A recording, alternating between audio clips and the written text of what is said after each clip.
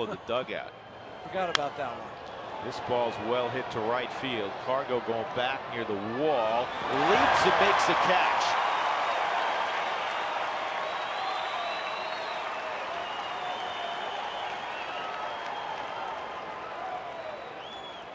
Nice play, Carlos Gonzalez.